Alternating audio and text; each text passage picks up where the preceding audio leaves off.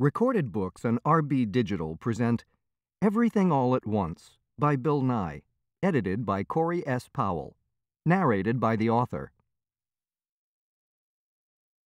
We can change the world.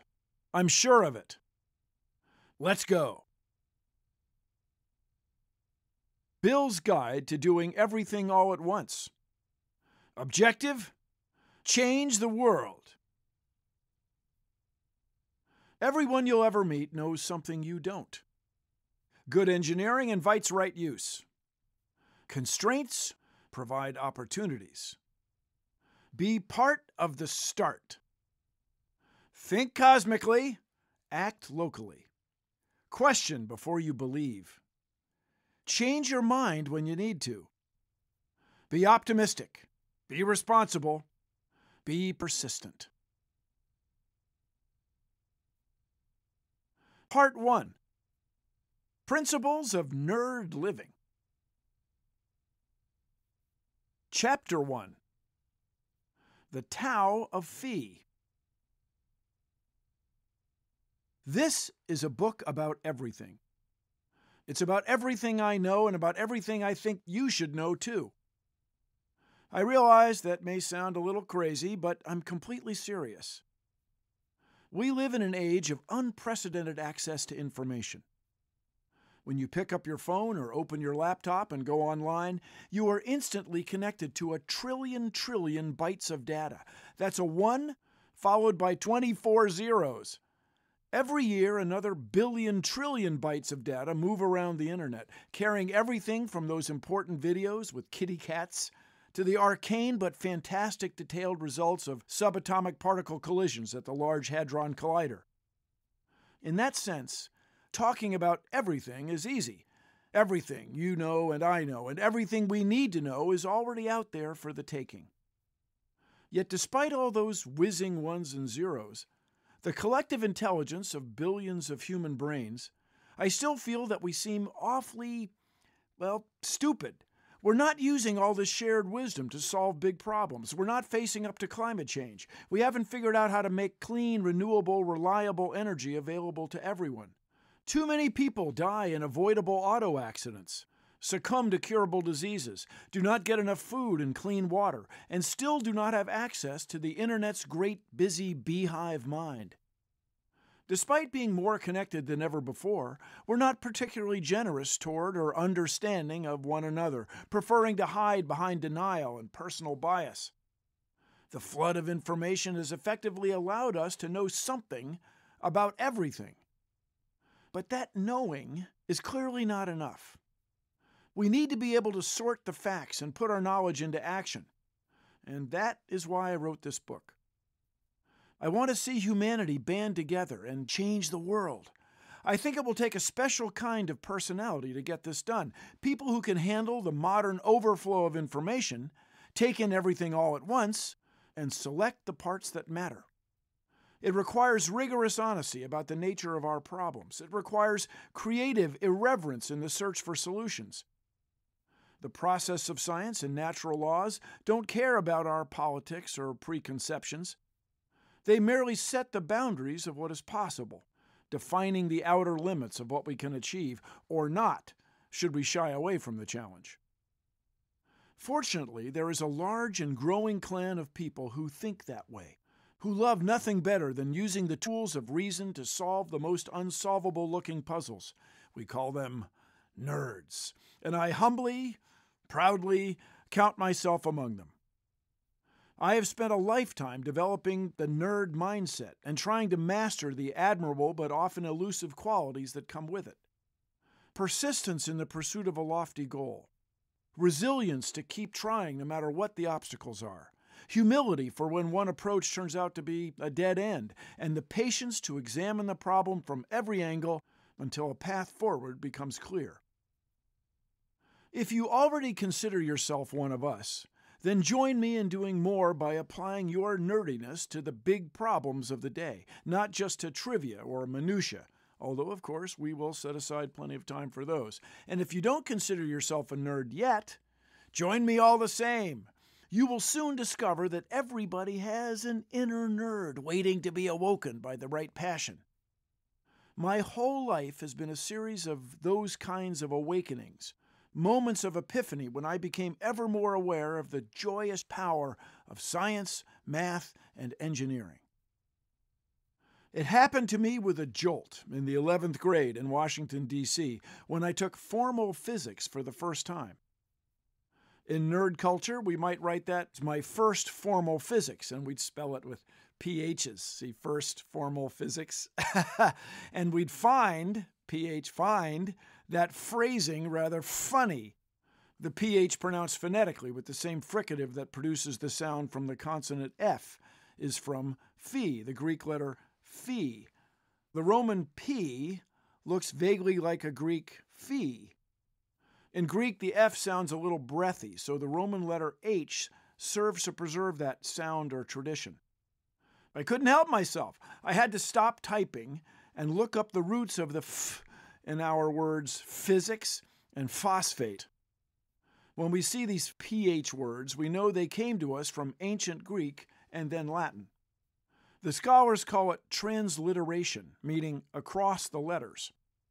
Centuries ago, a diligent, perhaps even enthusiastic, transliterator was inclined to add that H to the P, and here we are.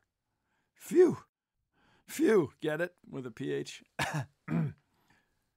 this little digression encapsulates what it means to be so into a topic, so focused and fascinated by some aspect of nature or the human experience that people consider you, or more important, you consider yourself, a nerd.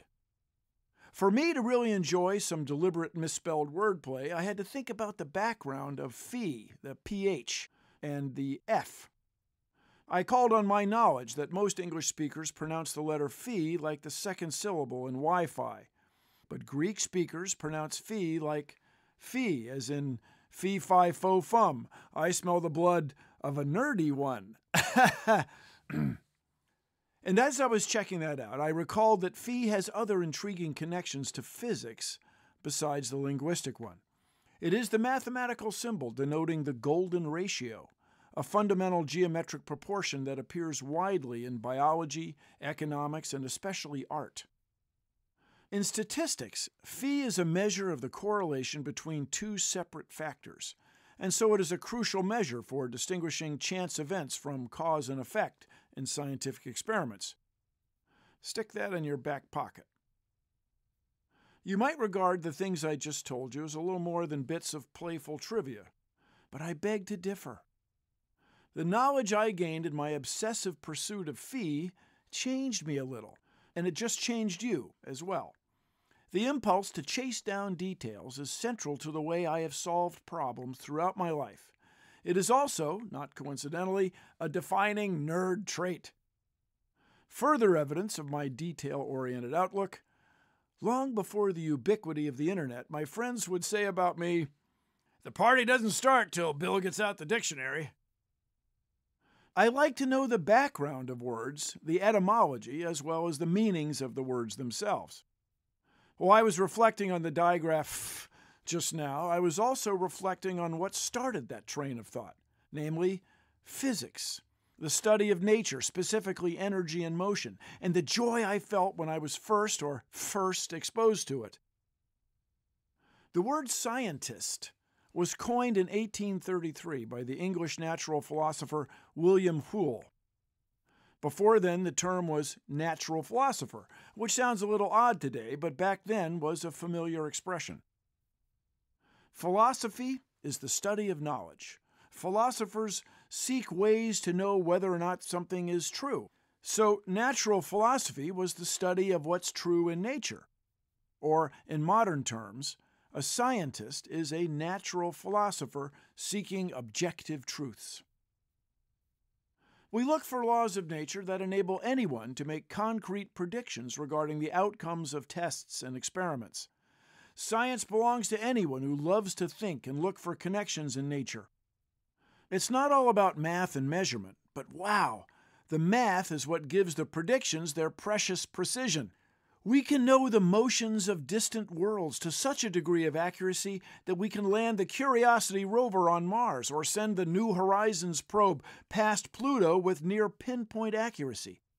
We can measure the exact age of a billion year old rock by clocking the decay of the radioactive atoms it contains.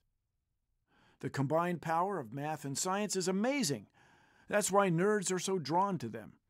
But the insights that come from science are inspirational even to those who never plan to crunch the numbers. Digressions and micro obsessions seem to come naturally to those who catch the science bug. You may meet people who are into trivia or who adore the very small details of some area of study. It might be the names of counties in Maryland or Mississippi, or the writing credits on Star Trek. My claim is that by learning those details, these nerdy people know something extra about a bigger picture as well.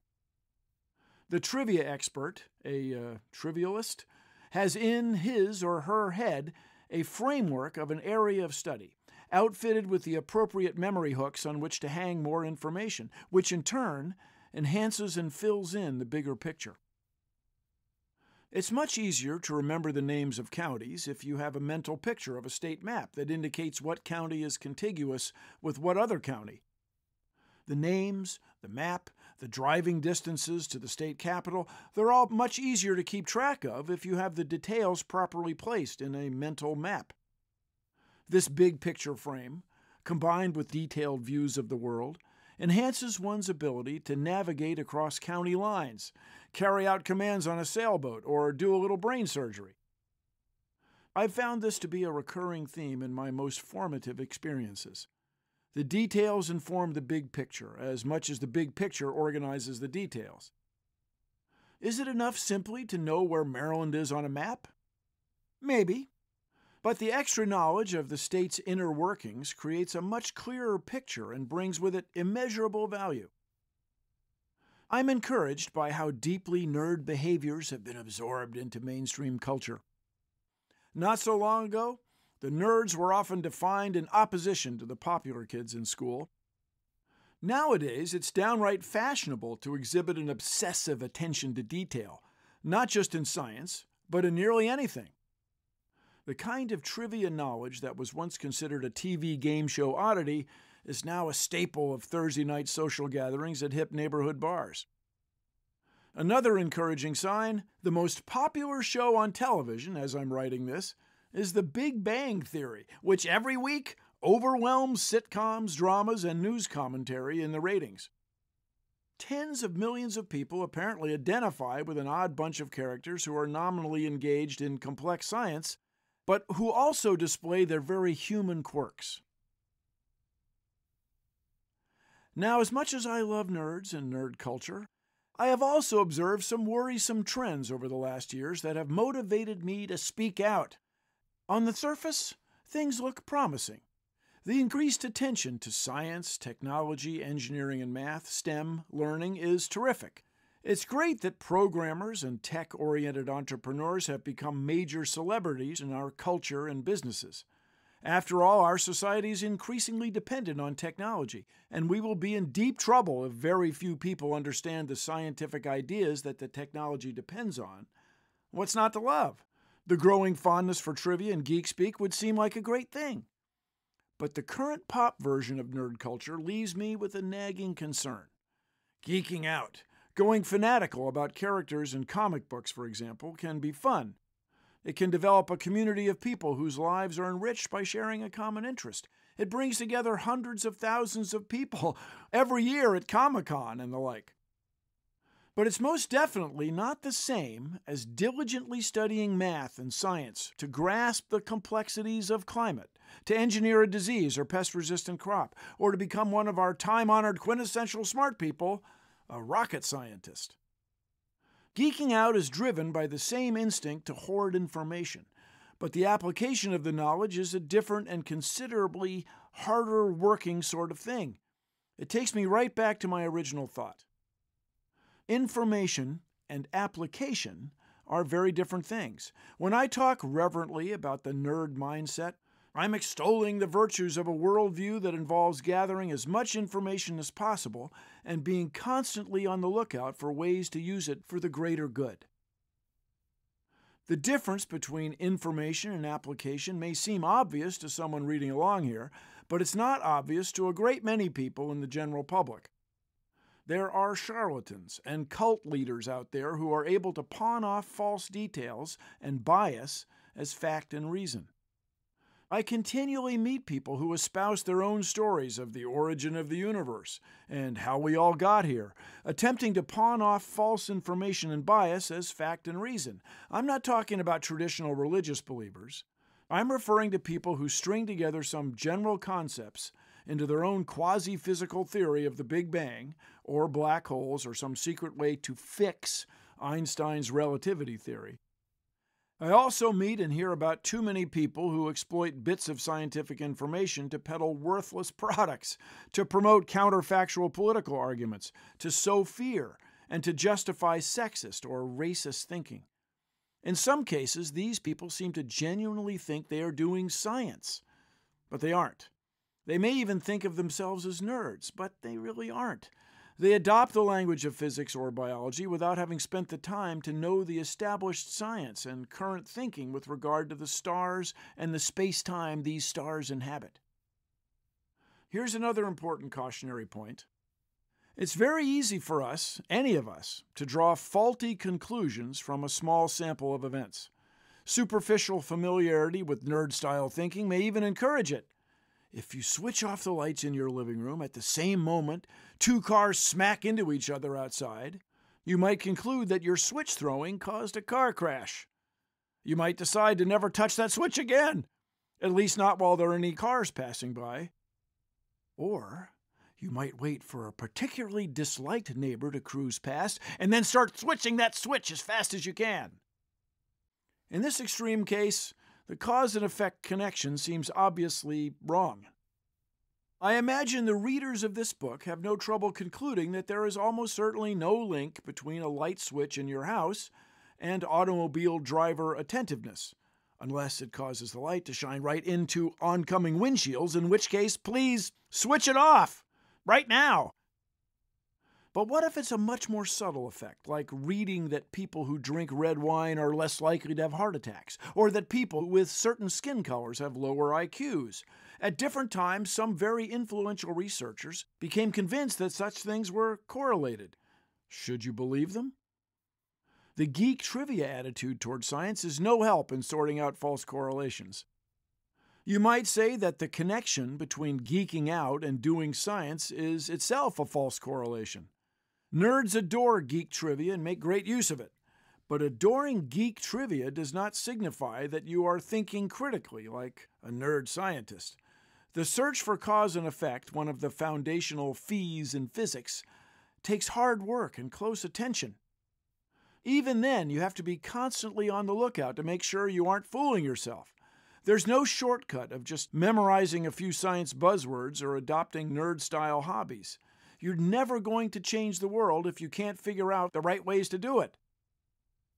I had no idea that all this was about to hit me when I started in 10th grade at the exclusive Sidwell Friends School in Washington, D.C. Until then, I had attended the D.C. public schools, which had sharply degraded on account of the reckless management by the long serving, drug addicted mayor, Marion Barry. But after a kid was shot in a nearby D.C. junior high school, my parents had had enough. That's when they decided to send me to a private high school. I had to really hustle to catch up with the other students and prove myself. After a year, though, I became comfortable in my new school. I got a circular slide rule as an award for being the school's most improved math student. It was a double validation for me, not just that I could hold my own in a much tougher school, but also that I was surrounded by a culture that valued numbers and big picture thinking and all the other nerdy things that meant so much to me then and now. Then it happened. I fell, or uh, fell, in love with physics in Mr. Lang's class.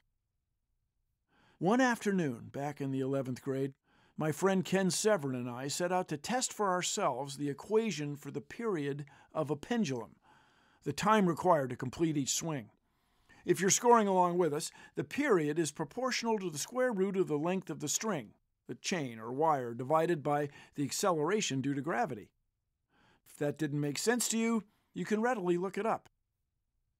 The pendulum equation is one more of the bazillion cool science things on the internet. We set up our own pendulum. It seemed to work okay, but the air drag and the friction in string fibers slowed this first one down too much for our liking. We rigged a longer string from the ceiling.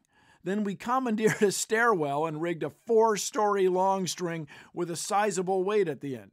We were in business. The equation predicted the swing period of our pendulum with satisfying precision. It felt as though we had unlocked a mystery of the universe. Science and what is nowadays called critical thinking take discipline and diligence. What enables us humans to make a living here on Earth is our ability to make predictions by finding patterns in nature and then to take advantage of them. Imagine how much easier it was to have a settlement or farm if you could count the days and know the seasons so that you planted and harvested crops at the optimal times. Imagine how much easier it was for ancient people to hunt successfully once they understood the migration patterns of game animals, their main source of protein. Imagine how much more fun it was for me and Ken Severin to watch the pendulum swing in exactly the way we'd predicted because we were proving for ourselves the amazing thing about cause and effect scientific analysis. It really works. As it happened, I was supposed to get a vaccination from my family doctor that afternoon. For over an hour, school officials paged Ken and me, but we didn't hear any of the public addresses. We were completely caught up in the experience, swept away with such nerdy ecstasy at each stroke of the stopwatch and slip of our slide rules, this being well before the days of electronic calculators, much less classroom computers. With each swing of the pendulum, we weren't discovering anything that many others before us hadn't already learned. That's the nature of being a student.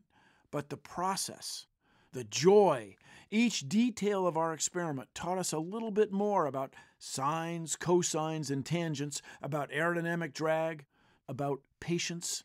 There is nothing like it. Science is empowering like no other human endeavor I know of. The reason I was so rapt is twofold. First of all, that was my first true exposure to the predictive power of physics. In politics and all manner of social interactions, we use the expression, the pendulum will swing back. But we mean it in an impressionistic way. Attitudes will change again in the future, someday, sooner or later.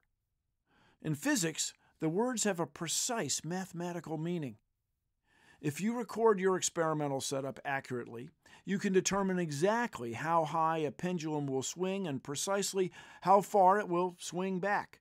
If you're as diligent as the 19th century French physicist Leon Foucault, you can use a swinging pendulum to prove Earth is spinning, even use it to determine how far you are from the equator. Push the equations a bit harder, and you can measure how our spinning planet distorts space and time around it, as NASA's Gravity Probe B satellite did, all because you took the time to understand a rock swinging on a string. The second part of my passionate attraction to physics was the people. The boys and girl, only one at that time, in my 11th grade physics class were my kind of people. It was an elective class, not required for graduation, and back then there weren't any special requirements to get in.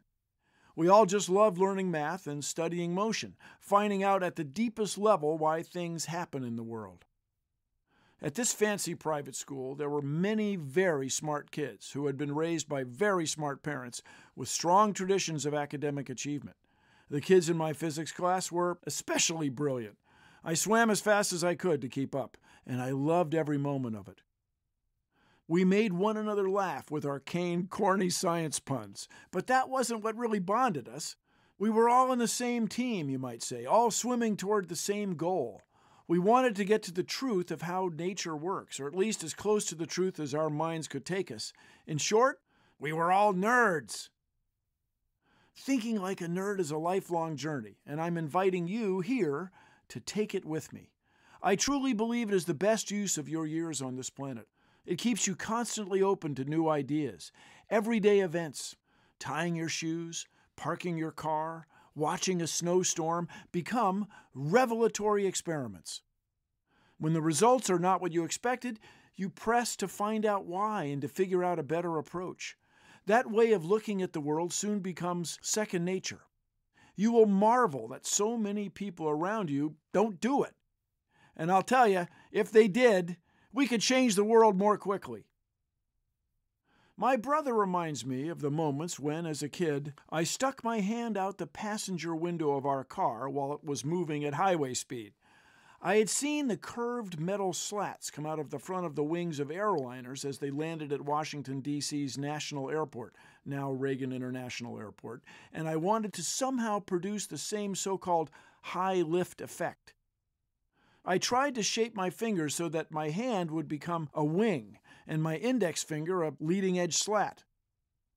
Well, I could get lift, my hand would fly up, but my index finger is not strongly curved and thin like a leading edge slat, so there was no extra high lift to be had. Nevertheless, I still routinely roll down the car window and try my hand at flying. Knowing how wings generate lift proved extremely useful to me later when I worked as an engineer at Boeing. But even if I'd followed a totally different career, that type of insight would still have informed my life in a thousand other ways. I'm always investigating nature, and people who spend time with me get used to it.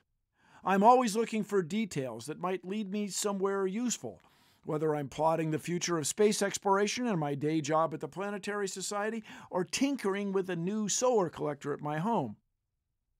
Over the course of this book, I'll offer myself as a case study, sharing some of my most memorable nerd moments with you so that you can amplify your own nerdy tendencies and start changing the world. There is nothing more thrilling than the phi of physics, I've found, because it is the most powerful thing that humans have discovered. I make my way toward truth and happiness by embracing a point of view from which I can see the big picture. I try to take in all the details, everything all at once, and then sift through them to find the meaningful patterns as part of an effort to make the world a little bit better. But I'm just one guy. With you and millions of others like you, we can turn our best ideas into action. We can solve our most pressing problems and live better lives. Join me and prepare to be amazed at how much lies within your power.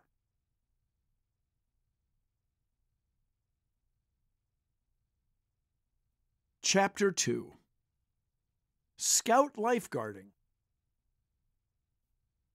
When he was a boy, my father was an outstanding scout. He could hike for 20 miles a day by pacing himself carefully and picking the optimal paths. He could start a fire in the rain and then cook dinner over it. There are a few family pictures of my dad as a teenager decked out in a sharp scout uniform, full of pride. He passed along a sense of mastery to my brother and me.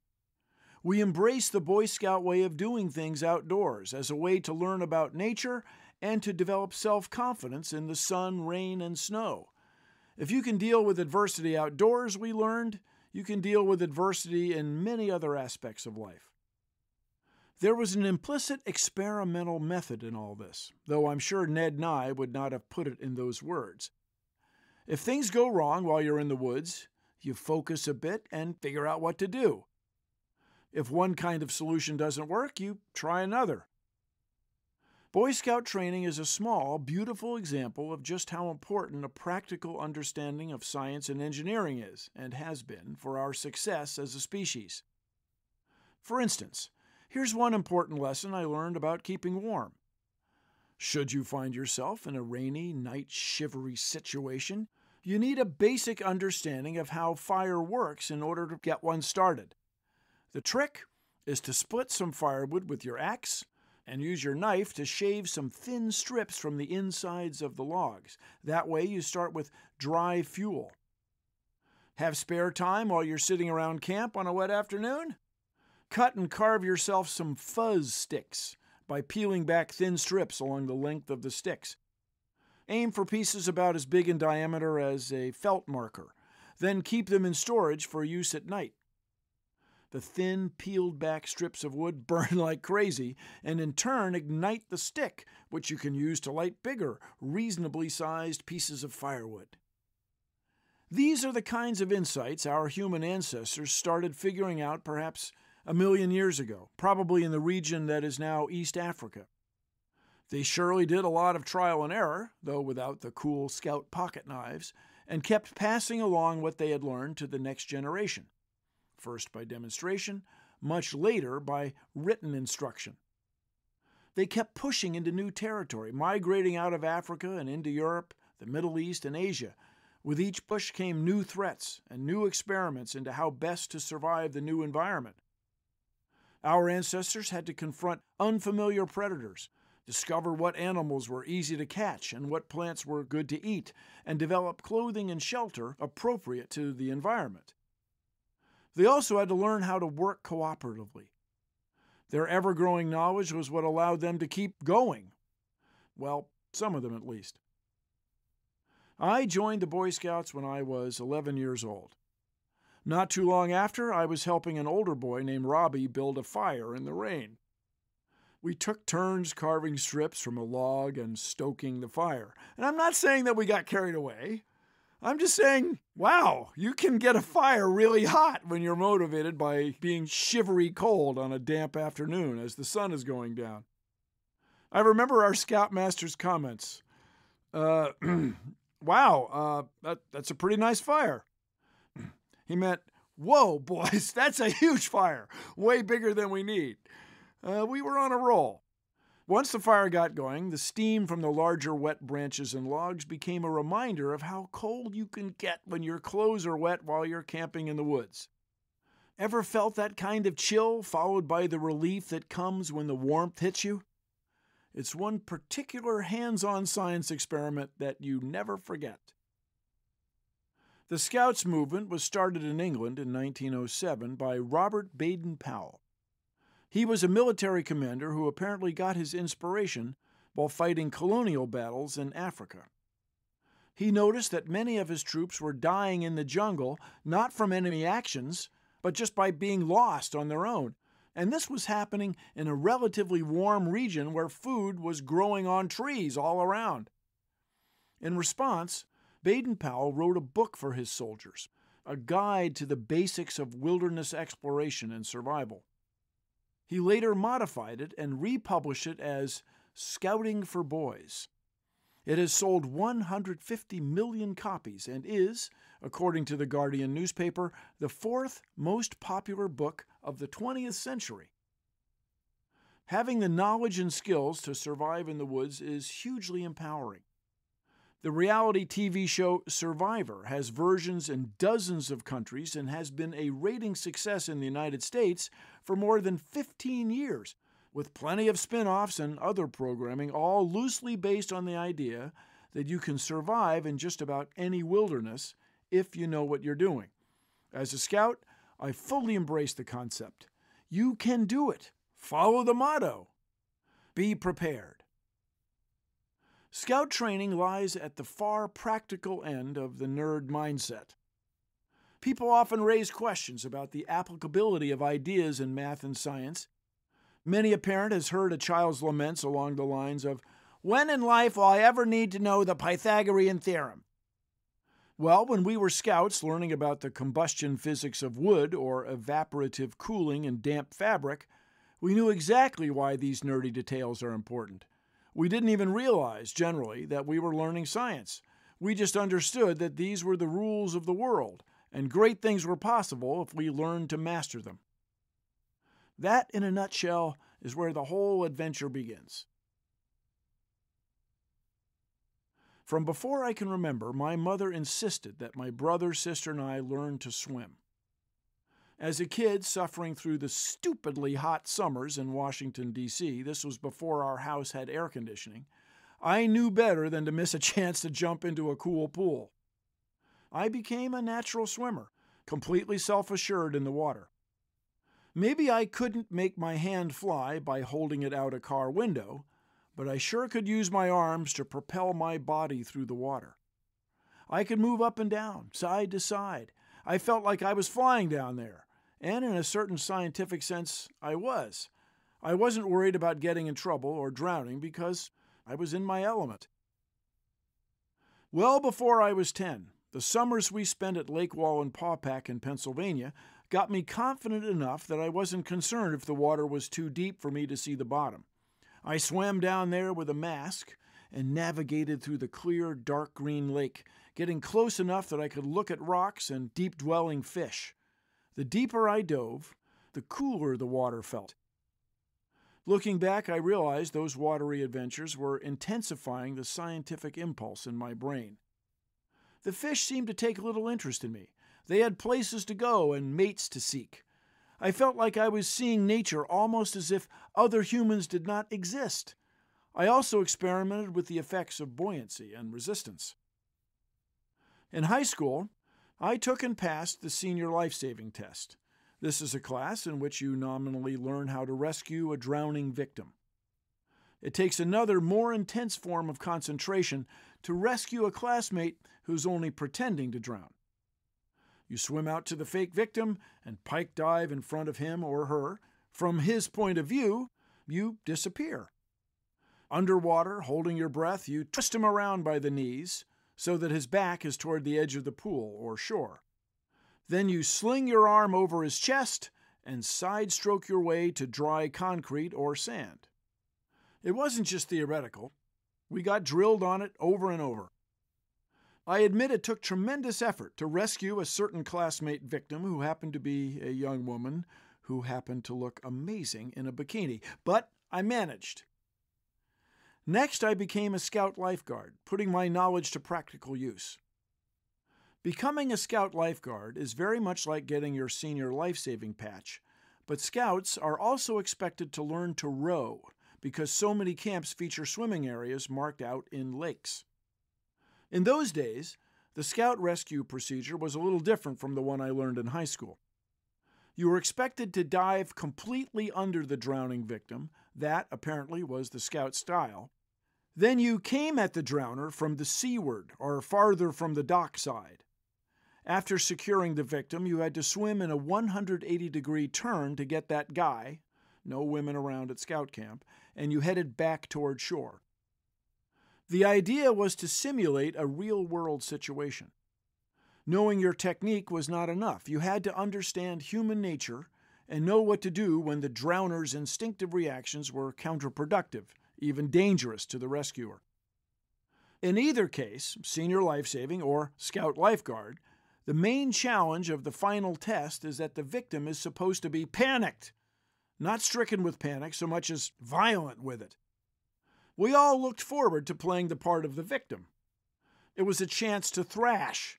You even might get the opportunity to legally punch an acquaintance or rival in the face with a well placed arm flail.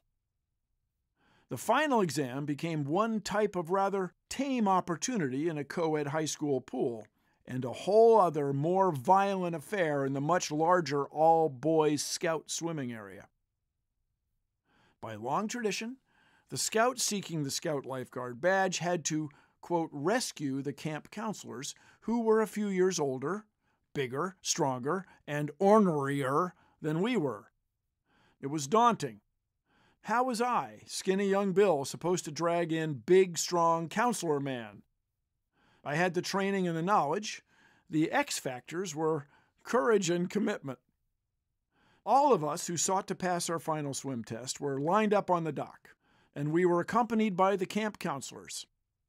The drowning actors swam out about 25 yards from the dock, and on our leader's signal, those strong young guys pretended to become panic stricken, big splashing victims. As you might imagine, they were having great fun, becoming as charming as an angry bull and as easy to wrangle as a greasy anvil, probably because of my precocious that is, obnoxious, wisecracking tendencies, I got assigned to rescue the counselor whom everyone called Big John. I was 15, he was 19. He was a good 14 inches taller and 50 pounds of muscle heavier. Big John was determined not to let me get an arm across his body and swim him to the dock. I was just as determined to show that my training and knowledge could overcome his desire to mess things up. They tell you over and over that if your drowning victim is being wild, just roll with it. Once you've got your victim in hand or in arm, let him or her flail. If he dips his head in the water, let him. We were assured that he would soon flail himself again to get his face out of the water, and while he was catching his breath, you could catch a break. Then you could begin again your journey toward the shore. As reasonable as that might sound, Big John was a full on flailing machine. I looped my arm across his chest and started for shore, pulling hard with my free hand and kicking just as hard with what is called the inverted scissor kick. It's an unnatural position and it takes practice, even if you don't have a Big John fighting you every step of the way. They also tell you that if your victim is too thrashy, too violent, or as in this case, too obnoxious, you have to secure him with two arms. You have to hold him from above and below. Big John was able to twist his way out of every one arm hold I tried. So after a few failed attempts at that method, I tried holding him by clamping two arms around him. This meant the only propulsion I had was by means of my inverted scissor. It took a long time to drag Flailing John to the dock by those means. Yet I succeeded. Very much to my surprise, I was the only guy that morning to get his victim to the dock. I absolutely do not attribute my success to any superior athletic ability. Much bigger guys were dealing with much less motivated counselors that day. Instead, I think what helped me was my approach to the problem. The scout instructors had told us what to do in each situation. I had a precise rule book to work from. You have to swim under the guy and surface behind him. You have to swim in a semicircle. You have to invert your kick. If he's acting wild, you have to hang on with both hands. I was in the internal reality of the rescue simulation. I wasn't considering my counselor's motives for making the task so difficult, but I accepted the terms of the situation and was solely focused on finding a resolution. I had to just get her done. So I did. I'm pretty sure the only reason the other guys didn't get their counselor victims to the dock was because they knew they didn't have to. Everyone there could swim. Everyone there had spent some time in the water learning the inverted scissor. Everyone was nominally strong enough to do the right thing and get a kid or a big grown up to shore in a real, serious situation. After each scout had shown his skills to the counselor in the water, even if he didn't get his victim to shore, the counselor said, Okay, fine, you passed. Let's get to the dock. But I was driven by a bigger goal. I wanted to do it for really real. I wanted to put the theory to a hard test. I did, and it turned out that it worked. Well, it worked for me. The other guys were all standing on the dock, arms akimbo, unimpressed. Their attitude toward me was roughly, Are you quite done? The rest of us passed without all the extra splashing.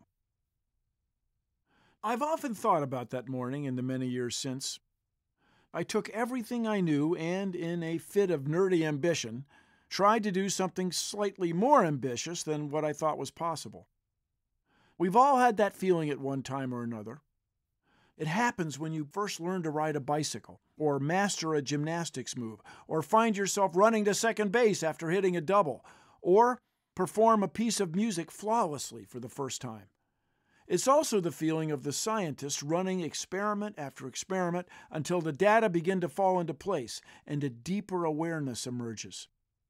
You can surprise yourself, I realized, if you focus, follow the procedure, and stick with it, stick with it, stick with it. Not that I was spinning any such highfalutin notions at the time. All I knew was that I had studied all the rules of life saving and lifeguarding, and I'd be damned if I wasn't going to see them through. Big John or no Big John. My motivation and belief were what convinced me that this task, even though it looked nearly impossible, could be accomplished if I trusted myself. It was what I believe we call a life lesson.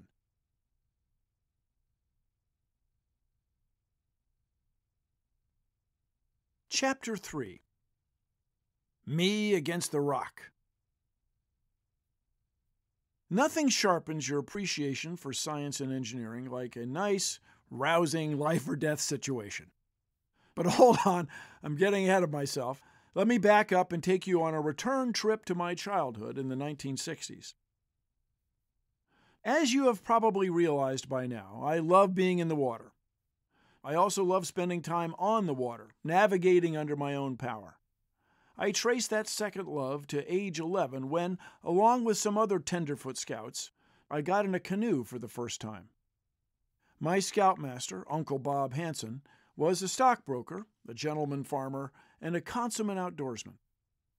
Significantly, he also had a close friend named John Barry, a champion canoeist who built his own fiberglass boats at home Listening to our Scoutmaster talk, you'd think this guy practically invented the decked canoe. A decked canoe looks like a kayak, but with subtle differences. A canoe has more bottom. Its hull is rounder than that of a kayak, and its bow and stern curve up toward the sky a bit more than a kayak's hull does. If swimming taught me respect for the physics of water, my encounters with the canoe made me appreciate that science alone is not enough. When you are in a dangerous spot on a river, engineering is awfully important as well. Both the kayak and the canoe have a long engineering history behind them. They are products of different cultures working out different solutions on different continents. Kayaks were invented by the Inuit, Yupik, and Aleut peoples of North America. The earliest known canoes were built in northern Europe, though the same basic design appeared independently, apparently, in Australia and the Americas. The similarities are no coincidence. Everywhere, people were trying to solve the shared problems of getting food by navigating across the water. On first glance, a canoe looks like a kayak, and a kayak looks like a canoe. Inspect them for a few moments, though, and you can see that river people and ice fishing people made distinct choices to optimize their various vessels' performance. For carrying loads like animal pelts or sacks of rice, a flatter bottomed canoe has more room and is more stable. For chasing and hooking fish, a kayak is more maneuverable, especially perhaps around small floes of ice. Each type of boat requires its own paddle and its own technique. A kayaker wields a long paddle with two blades, one at each end.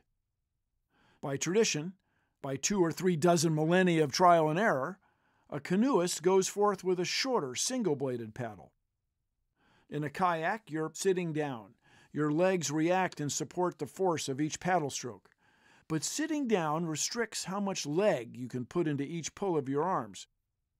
In a canoe, I quickly learned that you've got to kneel, not sit, and you'd better keep paddling or the river will do whatever it wants with you. Your hips and thighs can provide a good bit more force to drive and steer the boat, so much more that it's hard to muster enough force with your arms to compensate for all that, unless you put both hands in the service of a single paddle blade. The ten or so canoes issued to us scouts that summer in 1967 were open boats, sturdy, time tested, and made of hard to damage aluminum my fellow scouts and I found that we could run them over the river rocks pretty recklessly. Afterward, the boats would show scars, but they'd still be quite river worthy. Our teachers had shown us how to angle the keel and use the river current to ferry right or left, how to figure which rocks were deep enough to slide over and which would stop one end of the boat and spin you around. They had shown us nominally how to shoot whitewater rapids. Nevertheless, we, I'm pretty sure it was all of us, not just me, were often terrified. We were not yet fully in control of our nerd powers, and we knew it. There are a couple of tricks with a single bladed paddle that enable you to push a lot of water around in a hurry. You're probably familiar with Newton's third law of motion, whether or not you call it by that name. For every action, there is an equal and opposite reaction. That's the scientific principle that sends rockets into space, with the exhaust throwing the mass of the fuel down while the mass of the rocket soars up. In the same way, when you push on the water, the water pushes back and moves the boat in the other direction. When you pull on the water, you pull the boat toward your paddle. When you really get smooth with it, moving the boat feels like magic.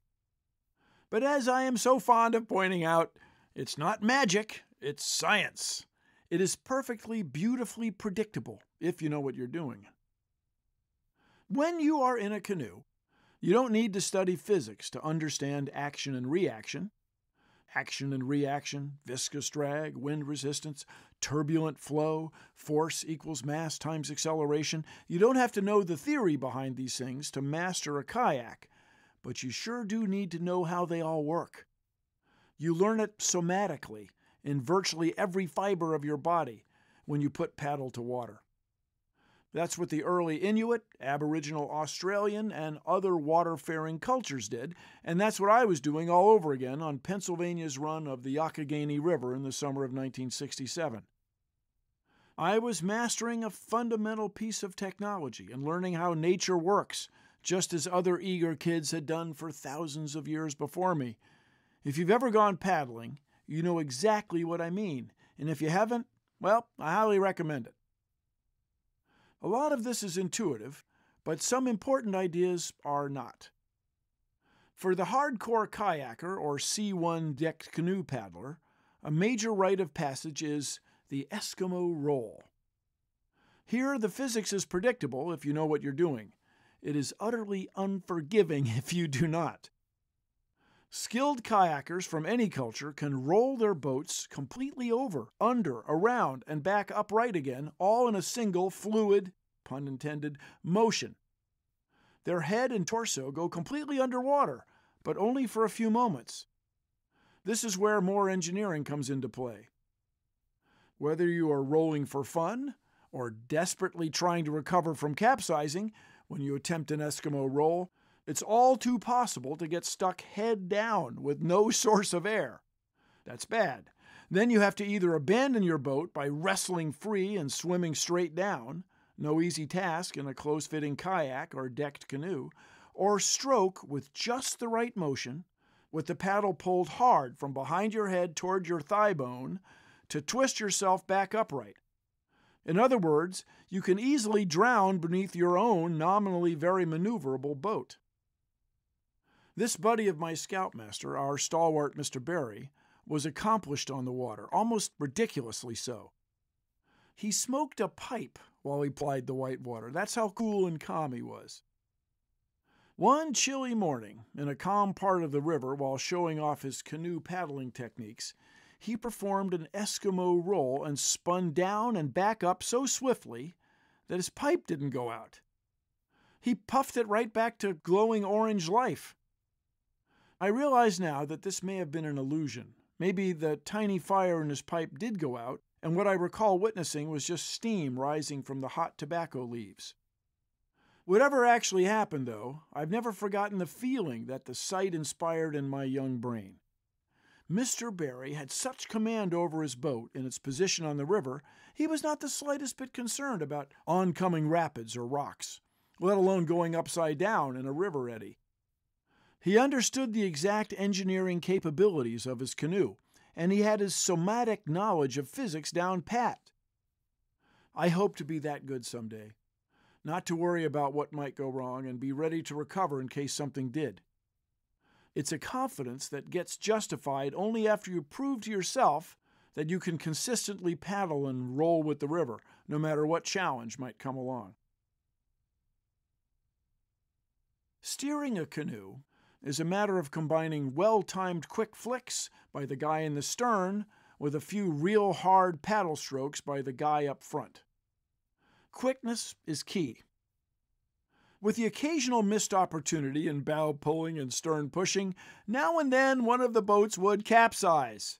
It's a little bit like accidentally driving your car into a tree. I don't recommend it. Although the consequence of a canoe capsizing were generally not as serious as a car crash, if you did capsize, you were cold and embarrassed.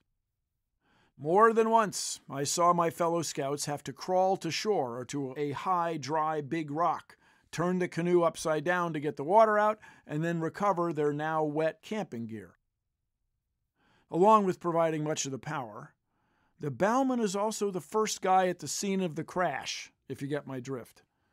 As a young scout, I was put in the bow, and I often paddled for all it was worth, exhausting myself by day's end.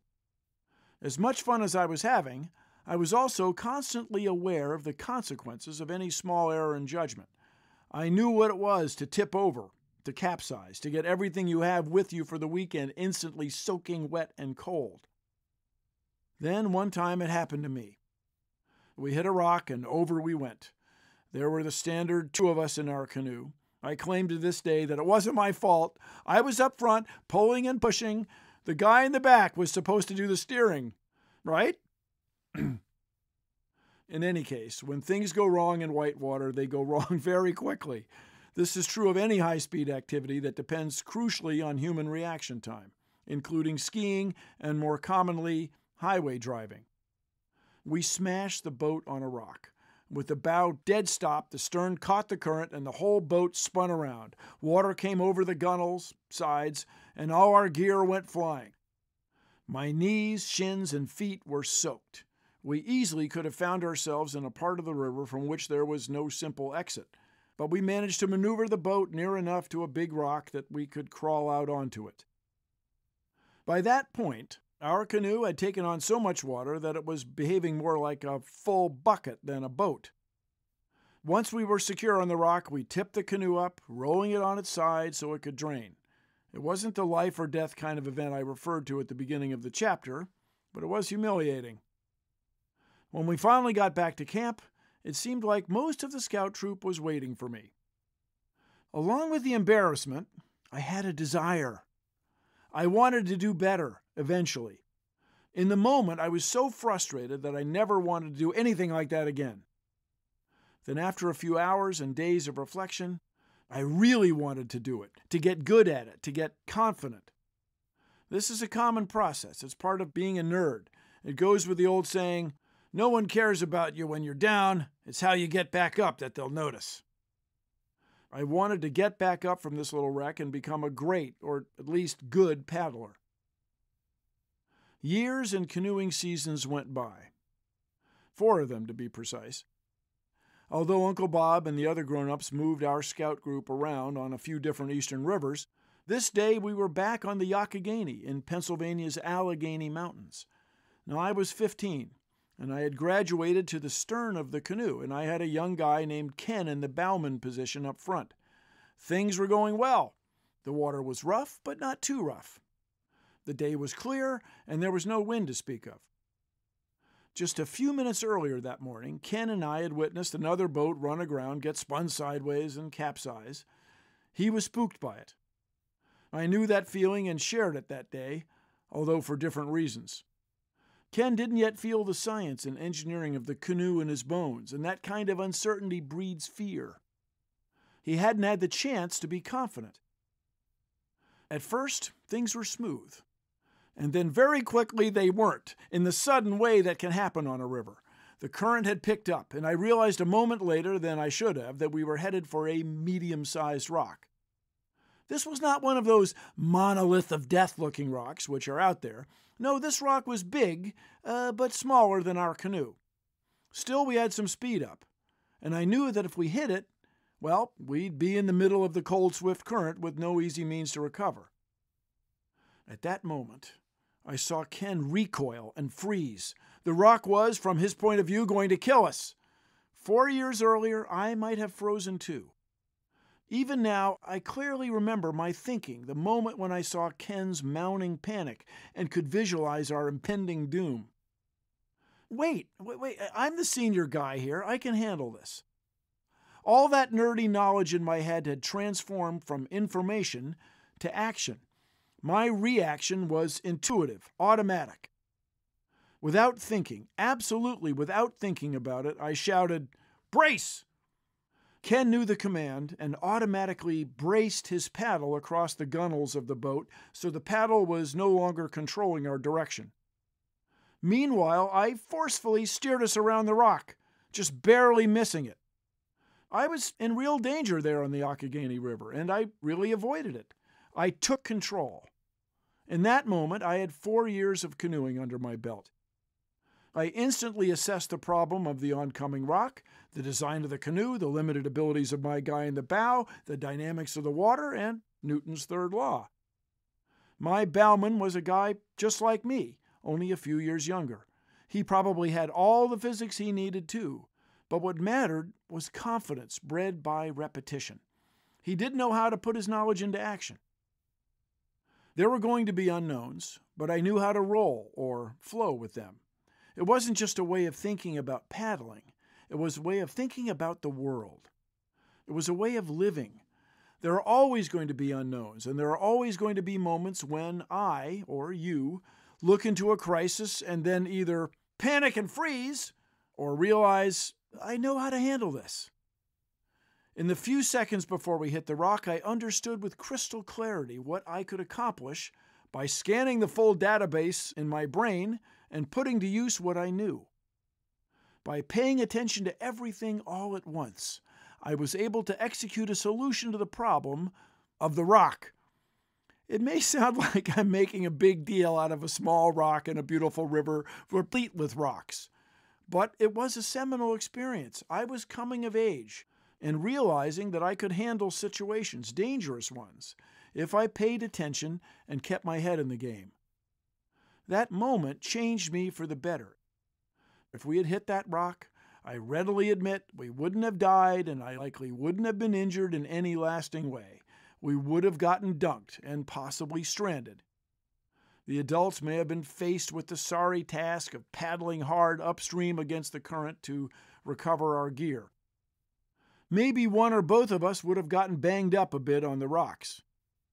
We would have been cold and miserable for the rest of the day. Perhaps more important, the other scouts would have made big fun of us. We would have been uncomfortable had we capsized, but that was the path not taken. Instead, we dodged the rock and carried on.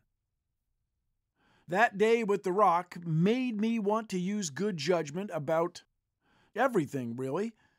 Is such a thing possible? Is it even desirable? After all, going wild now and then might not be all bad.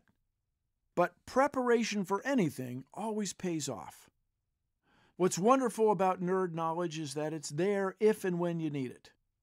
So when I think about the changes I want to see in society, I think about avoiding the rock in the river by being prepared and in control. I think about the filtered knowledge applied just the right way. I feel that the canoe, the rock, energy policy, and climate change are connected. No kidding. I know many people who would move past such an experience and forget about it. I know others who would go the other way and interpret it as a spiritual message. For me, it was unforgettable, but it was not evidence of a higher power looking out for me. What saved Ken and me was nothing more or less than the steady training by the older scouts and the patient guidance of Mr. Barry and Uncle Bob, the scoutmaster, along with his assistants. They had taught me about the river and about the design of the boat and paddles. They had drilled the necessary information into me. They had trained me in a way that didn't lead just to theoretical knowledge, but also to muscle memory and preparation that were completely related to the real world experience of many different possible scenarios. When I was actually faced with one of those situations, as the saying goes, the training kicked in. There's an art to having a productive scientific epiphany. Life delivers plenty of instructive experiences to all of us, but it's up to us to figure out what to do with them my recommendation is to internalize them as a real world practice and not just as information on a page. We miss the opportunity way too often. I try to pay attention to everything around me, but then apply a strong mental filter so I can focus on the things that really matter. I pay special attention to events that reveal new details about how the world around me works and about how I can make it work for us. This is a stark difference between the religious and scientific viewpoints. If you depend on miracles to make great things happen, you rejoice in the moments when control is taken out of your hands. If you think like a nerd, you celebrate the moments when you are most in control, when you see a theoretical practice play out in a real way, in real time. It's not that you take life's marvels for granted. It's that you work hard to understand them, to learn new things from them, and to add them to the storehouse of information in your brain. The more you learn, the more there is to enjoy about the world, and the more you can do to take control of it.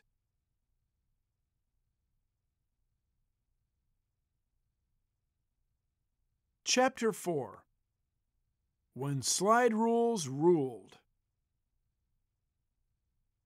Along with his many other remarkable contributions to the world of music, Sam Cooke recorded one of the greatest singles of the 1960s the song Wonderful World.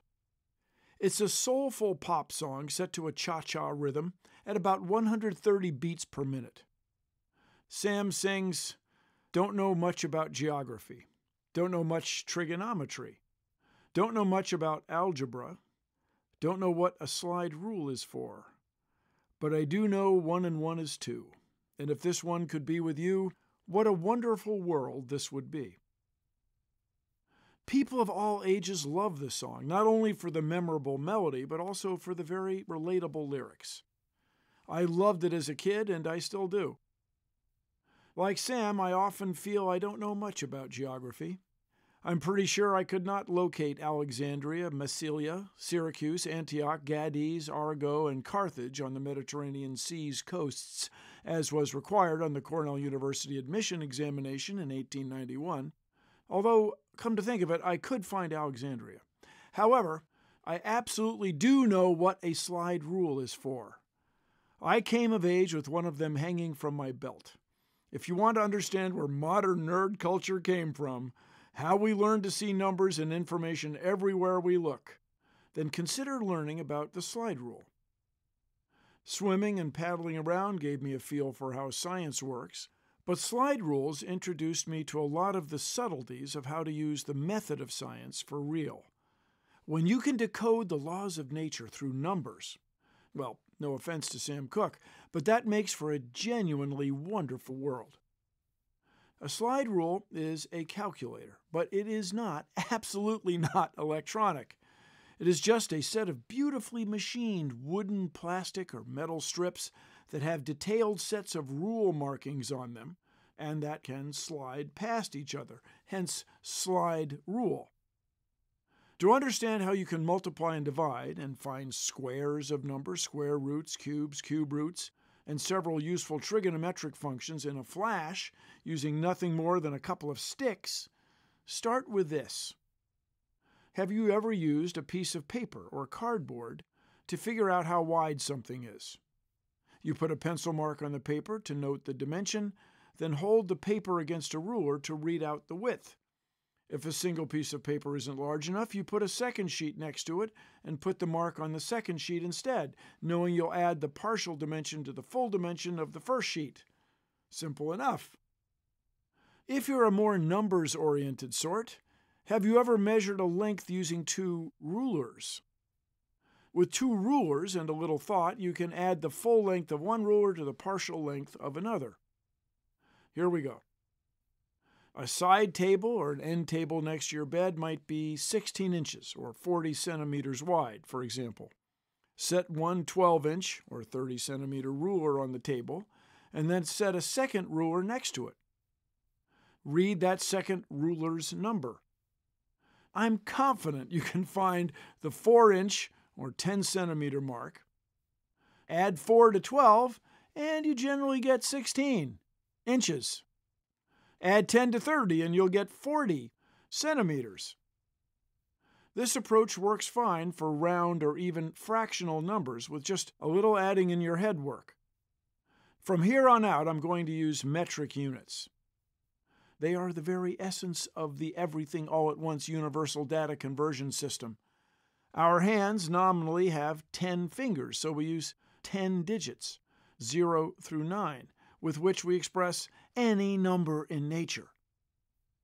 A slide rule does the same basic thing, but it adds and subtracts using specialized scales marked on lengths of bamboo, magnesium, plastic, or even ivory. There are generally two main pieces the slide and the body. Both have scales precisely engraved or printed on them. But instead of demarcating regular lengths, those scales are marked to indicate a number's logarithm. By the way, slide rules are fitted with a crosshair, a thin wire or length of real hair embedded in plastic or glass to keep the all important numbers on the slide scale and the body properly lined up. Gentle reader, do you know what that crosshair carriage is called? The cursor. This term was coined centuries before computers had cursors. People everywhere use the word today without knowing that it emerged from the early history of my fellow nerds. That secret connection fills me with pride. If you don't happen to remember logarithms, really there's nothing especially complicated or terrifying about them. They go like this 100 is 10 squared, or 10 to the 2. The logarithm of 100 is just 2. The number 2 is written above and to the right, and it's called an exponent, from the Latin for placed away. The exponent describes a logarithm.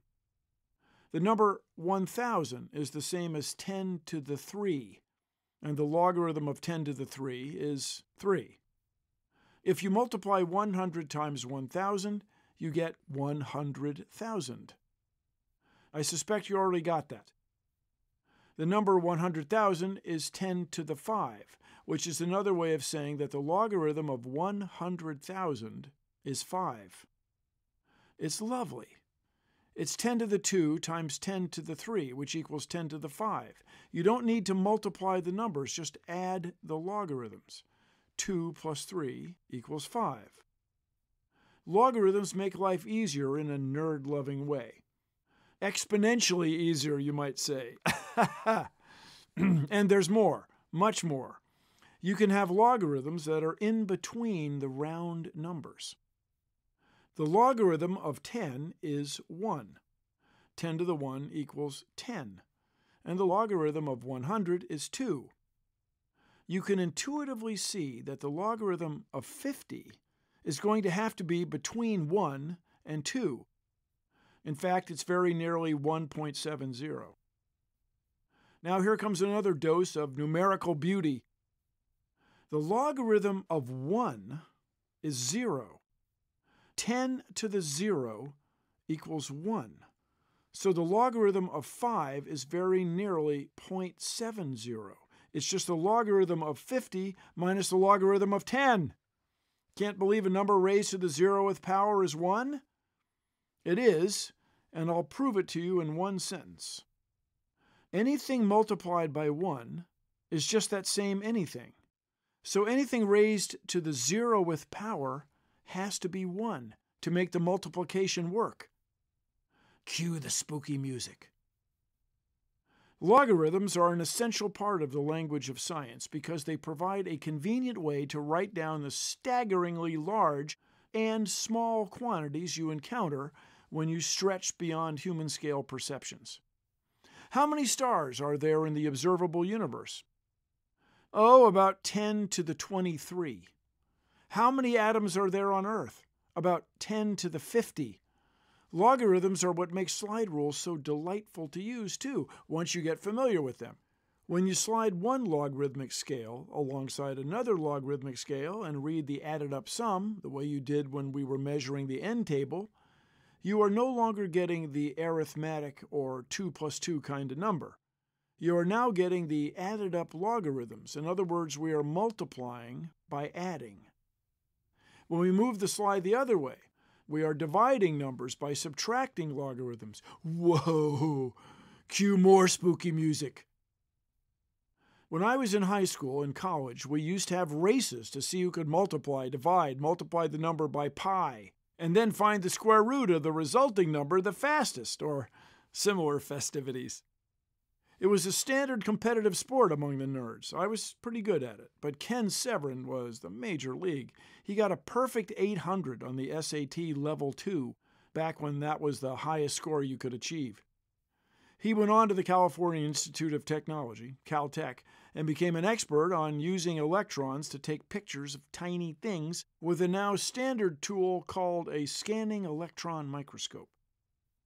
Later, as Dr. Severin, he joined the faculty of the University of Alaska and established its Advanced Instrumentation Lab for Geology. He was my best high school buddy. We had nerd adventures together, tinkering with resistors, transistors, capacitors, and the like. Don't worry if the specific details of the slide rule still sound a mite confusing. Learning to keep all the numerical patterns in your head takes practice, and that's kind of the point. Mastering math, science, and any other advanced skill is hard work. A slide rule was therefore a badge of intellectual pride. No more than just a stinking badge. It's a giant airport runway beacon alerting others that you are part of the world of the nerds. We loved it. Our slide rules were objects of devotion. We lubricated the slide scale with talcum powder. We adjusted the clamping screws to get the slide scale to move with just the right amount of friction to maximize speed while minimizing misalignment errors. And there was a reason they were so precious, beyond just bragging rights. Using a slide rule imbued a sense of the size of just about anything relative to anything else. My slide rule changed my life.